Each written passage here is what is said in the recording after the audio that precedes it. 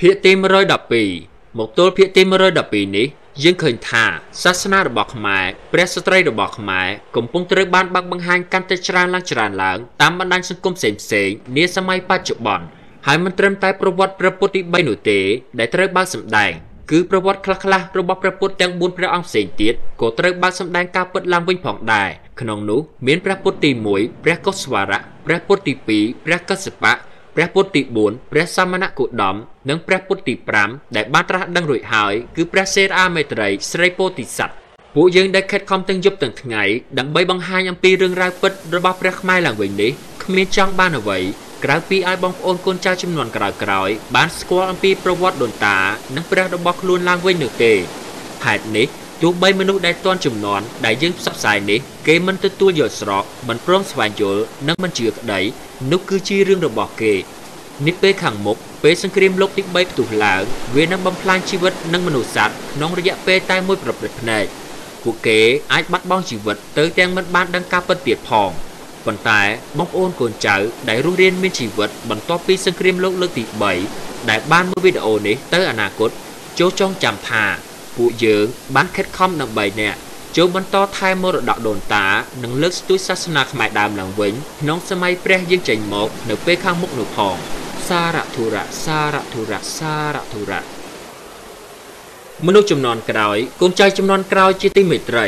កាលបើកូនចៅទៅអនាគត បានអាននិងស្ដាប់រឿងទាំងអស់នេះហើយចូលគិតពិចារណាឲ្យបានយល់ផងចោះកុំបណ្ដោយឲ្យសាសនាខ្មែរព្រះពុទ្ធទី3ព្រះពុទ្ធស្ត្រីរបស់ខ្មែរយកទៅគិតជារឿងអាភិជាអវយវៈភេទលឹងឬយោនីដោយបរទេសគិតតទៅទៀតព្រះខ្មែរមិនដែលឲ្យកូនចៅទំនោរទៅរកប្រដាប់ភេទដោយឥណ្ឌាគិតនោះទេ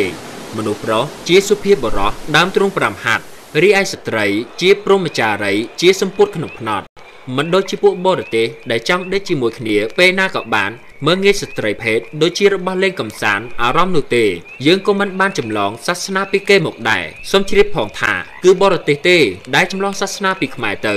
ហើយកែឲ្យទៅជារឿងអកុសលរឿងអពមង្គលនិងជារឿងស្មោកគ្រោកជាដើមឡាក់យើងធ្លាប់ជឿខុសជិត800ឆ្នាំមកហើយសូមគុំបន្តជឿខុសទៅមុខទៀតអីត្រូវស្វែងយល់ឲ្យបានភ្លឺភ្នែកទាំងអស់គ្នាឡើង កូនចៅជាច្រើនណាស់ដែលបានពោលថាចុះបើដួងព្រលឹងព្រះសម្ព័ន្ធសម្រាប់ដាក់ធាតនោះមើលទៅពិតជាស្រដៀងរបស់នឹងមែនដូច្នេះហើយក៏ជឿគេទៅ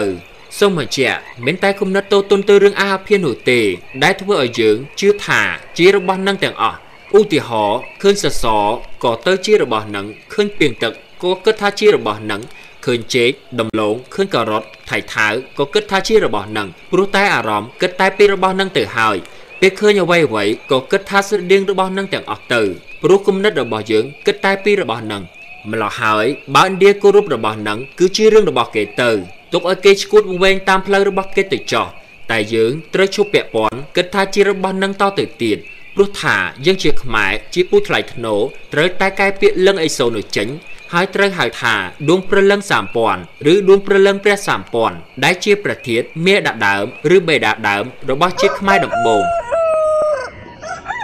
យើងងាកមកមើលប្រវត្តិដូនតាខ្មែរបន្តទៀតពិធីស្រង់ព្រះធាតុតំណាងមេដាបេដាដើមបានចាប់ដើមរៀននៅក្នុងព្រះនគរខ្មែរជួបជុំតម្រង់ជួរលៀងព្រះធាតុឪពុកម្ដាយដើមឬដួងព្រលឹងព្រះសម្ព័ន្ធឲ្យស្អាតរួចគោរពបន់ស្រន់តាមចិត្តជ្រះថ្លារបស់ម្នាក់ម្នាក់ទឹកដែលលាងនោះបានហូរតាមតូទឹកចេញមកក្រៅទុកសម្រាប់រាជព្រះនគរបានត្រង់យកមកប្រោះព្រំកូនចៅសុំពរជ័យត្រជាក់ត្រជុំមានរាជខ្លះទៀត យកមកលុបលាងមុខដើម្បីសុំសេចក្តីសុខអូកូលេចមើលណមានរាជខ្លះទៀតត្រង់យកទឹកនោះមកងូតតែម្ដង ដើម្បីឧទ្ទិសទៅកាន់មេដាបេដាថា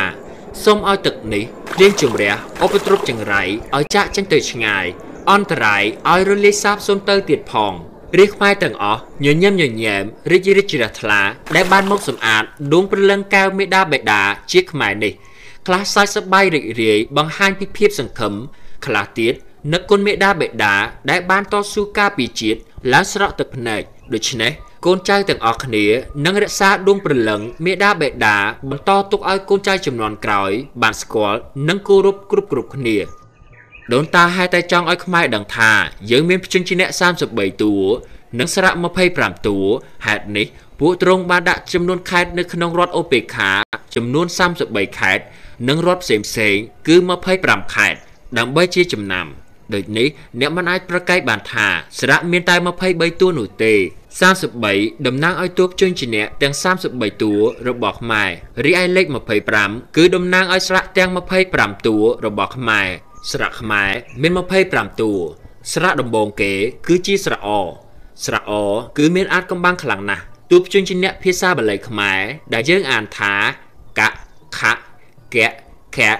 ងាំងជាដើមលក្ខ នៅពេលដែលប៉ះជាមួយអក្សរអក៏ប្រែទៅជាកអានថាកខអានថាខកអានថាក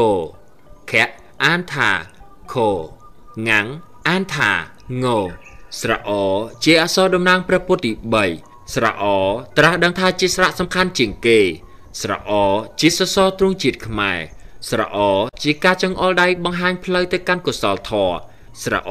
ជាភាសាបាលី មានអត្ថពលណាស់អាចឲ្យបរទេសដែលប្រព្រឹត្តអំពើអាក្រក់មកលើខ្មែរកោតខ្លាចមែនតែនខ្មែរប្រើប្រាស់ស្រអតាំងពីបុរាណមកម្លេះស្រៈទាំង25តួមានដូចតទៅ ស្រអស្រអា ស្រអេស្រអីស្រអឺស្រអឺស្រអុស្រអូស្រអ៊ូស្រអាស្រអឺស្រអ៊ីស្រអេ ស្រអែស្រអៃស្រអោស្រអៅស្រអ៊ំស្រអំ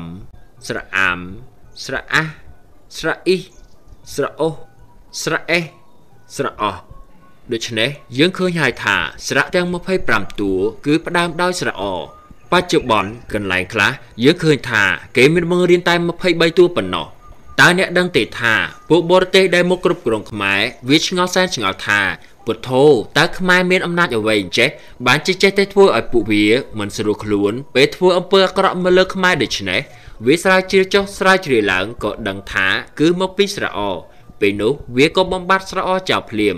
វារកលេសប្រាប់ថា ស្រៈខ្មែរមានច្រើនពេកហើយពិបាកចាំណាស់ គួរកាត់ស្រអចោលទៅយ៉ាងទៀតពួកវាមិនដឹងថាយើងប្រើស្រអនៅពេលណានោះទេអ្នកប្រាជ្ញខ្មែរដែលបានងើបតវ៉ាប្រឆាំងនឹងការបំបត្តិស្រអចោលនេះបានងើបតវ៉ាថាមិនឲ្យលោបជាដាច់ខាតដូនតាខ្មែរចំនួនដើមប្រឹងនោះប្រឹងដើម្បីការពារព្រះរបស់ខ្មែរតែទីបំផុតវាយកទៅសម្លាប់ជាបន្តបន្ទាប់ កូនចៅសូមរំលឹកនៅភាពអង្អាចរបស់ដូនតា ដែលលះបង់ខំរក្សាការពារអក្សរខ្មែរជាអក្សររបស់ព្រះ កូនចៅខ្មែរមានតែមេរៀនដៃដកសូមថ្វាយបង្គំព្រះមេដាបេដាជាអ្នកប្រាជ្ញខ្មែរទាំងអស់សូមឲ្យជាតិខ្មែរមានកូនចៅកតញ្ញូចំពោះទ្រង់ឡើងវិញសូមកុំឲ្យសាសនាបរទេសមកលៀបពណ៌ឲ្យខ្មែររញ៉េរញ៉ៃផ្ដេសផ្ដាស់មកលេីឡំតទៅទៀតរីឯអ្នកស្ដាប់មិនយល់ចូលអ្នកកុំប្រមាថបើអ្នកមិនដឹងខ្យល់អីអ្នកអាចនៅមានទោសស្រាល តែបើអ្នកមិនដឹងអីហើយមកប្រមាថទៀតអ្នកត្រូវទទួលខុសត្រូវចំពោះកម្មពៀមួយនេះជាក់ជាមិនខានឡើយ